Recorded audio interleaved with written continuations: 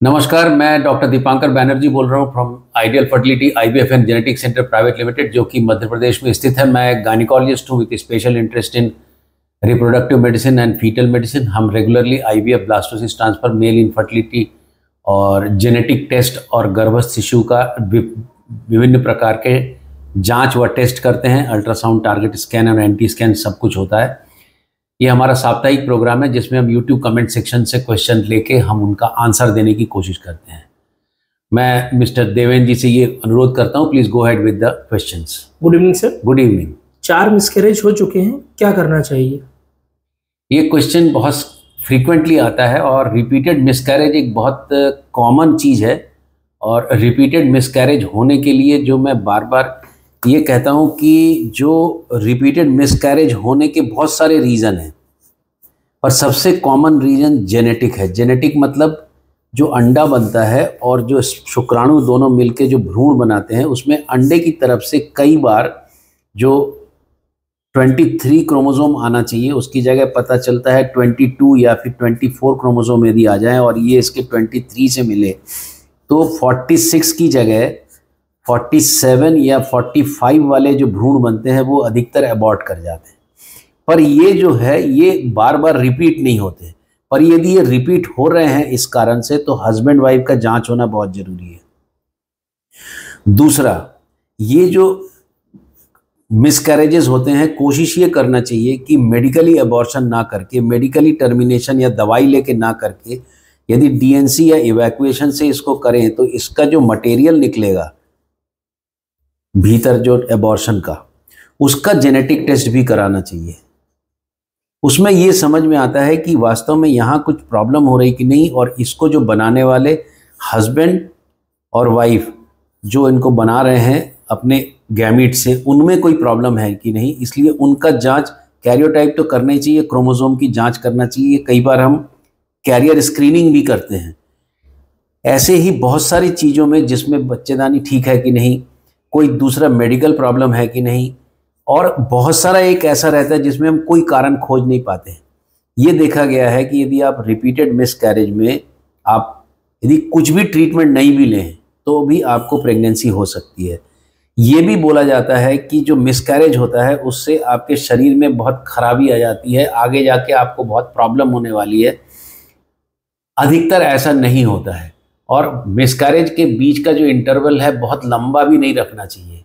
यदि आपका एएमएच कम हो रहा है तो एएमएच कम होने के कारण अंडे का पावर भी घटेगा जिसमें मिसकैरेज होने का चांस बढ़ेगा इसलिए फैमिली जल्दी कंप्लीट करना चाहिए। सिक्स वीक में मिसकैरेज का क्या कारण हो सकते हैं? ये इसी से रिलेटेड क्वेश्चन है। सिक्स वीक में जो प्रेगनेंसी होने का जो टर्मिनेट होने का प्रधान कारण जेनेटिक होता है। मतलब अंडे की तरफ़ से ठीक यदि क्वालिटी वाला अंडा नहीं फर्टिलाइज हुआ तो वो अंडा नेचर उसको स्विच ऑफ़ करता है। और ये प्रकृति का एक नियम होता है कि एक सर्वाइवल ऑफ़ द फिटेस्ट होता है जो फिट होता है वही सर्वाइव करता है। और जो माँ की कोख में ही सर्वाइव नहीं कर पाया वो बाहर आके क्या सर्वाइव करेगा? इसलिए नेचर उसको अधिकतर स्विच ऑफ़ करती है। क्या दो बार एम्ब्रियो ट्रांसफ़र करने से प्रेगनेंसी रेट इम्प्रूव होता है? ये क्वेश्चन मेरे थोड़ी सा समझ में इसलिए नहीं आया कि क्या एक ही साइकिल में दो बार एम्ब्रियो ट्रांसफ़र करेंगे? ऐसा पहले लोग करते थे डे थ्री और डे फाइव पर ये चलन ठीक नहीं था और इसमें कोई ऐसी प्रेगनेंसी की वृद्धि नहीं हुई। मैं कभी भी डबल एम्ब्रियो ट्रांसफ़र नहीं करता हूँ, या तो मैं डे फोर या डे फाइव करता हूँ। इसलिए इसका आंसर देना कि डबल एम्ब्रियो ट्रांसफ़र करने से कुछ फ़ायदा होगा कि नहीं एविडेंस बेस्ड प्रैक्टिस में ऐसा नहीं है। फाइब्रॉइड में मेडिसिन या इंजेक्शन से काम हो सकता है?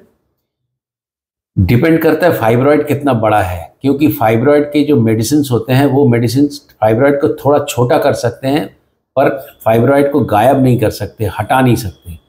उनकी दवाइयाँ लेते लेते जितने दिन फाइब्रॉइड कम रहेगा, फिर आप दवाई बंद करेंगे। यदि प्रेगनेंसी नहीं हुई तो फाइब्रॉइड का साइज़ फिर बढ़ सकता है। इसलिए फाइब्रॉइड का अंतिम उपाय ऑपरेशन है या उसको निकालना है। हर फाइब्रॉइड को निकाल नहीं पाते, तब हम कोशिश करते हैं कि हम इसका दवाई इंजेक्शन से थोड़ा उसको कम करें। पीरियड्स के छः सात दिन पहले बहुत पेन होता है। ये क्वेश्चन बहुत अच्छा और बहुत इंपॉर्टेंट है। जो मैं इसलिए बताना चाहता हूँ कि पेनफुल पीरियड्स अच्छे होते हैं और पेनफुल पीरियड्स सब पेनफुल पीरियड्स अच्छे नहीं भी होते हैं। तो जैसे ये पीरियड आया इसके एक महीने बाद पीरियड आया। इस पीरियड के शुरू होते समय यदि पेन बढ़ता है और पीरियड चालू हुआ और ख़त्म होते होते ये ख़त्म हो गया। दिस इज़ गुड ये ये शो करता है कि इस लेडी को अंडे बनते हैं और प्रोजेस्ट्रॉन बनता है और वो विड्रॉ होने के बाद में ये एक अकड़न जैसी होती है मड़ोड़ जैसी होती है और ये पीरियड के साथ ख़त्म भी हो जाती है। कुछ दर्द ऐसे होते हैं जो पीरियड आने के काफ़ी दिन पहले से चालू होते हैं और ये काफ़ी दिन तक बने भी रहते हैं। ये दो प्रकार के होते हैं। इसको कंजस्टिव डिस्मेनोरिया बोलते हैं। इसको स्पाजमोटिक डिस्मेनोरिया बोलते हैं। जो कंजस्टिव डिस्मेनोरिया होता है, वो दो कारण से होता है। या तो पेल्विक इन्फेक्शन हो मतलब आपके भीतर कोई इन्फेक्शन का सूजन हो, या फिर एंडोमेट्रियोसिस हो। एंडोमेट्रियोसिस वाला जो, जिसमें इन्फेक्शन नहीं होता है लेडी अधिकतर अच्छे घर की रहती है। आप ये नोटिस करेंगे जैसे जैसे उम्र बढ़ती है, इसका पेन का मात्रा भी बढ़ता जाता है। इसकी पेन की इंटेंसिटी बढ़ती जाती है। यदि ये बढ़ रही है और आप यदि लेडी प्रेग्नेंट नहीं हो रही है या अनमैरिड है तो कई बार ये इतना दर्द होता है कि इसमें फिर ऑपरेशन करना पड़ता है। तो जो पाँच से सात दिन पहले वाला जो दर्द है, इसका जाँच ज़रूर कराना चाहिए। एक गायनिक से जाके आप एक अल्ट्रासाउंड ज़रूर कराएँ। ट्रांसवेजाइनल अल्ट्रासाउंड करना बहुत ज़रूरी है।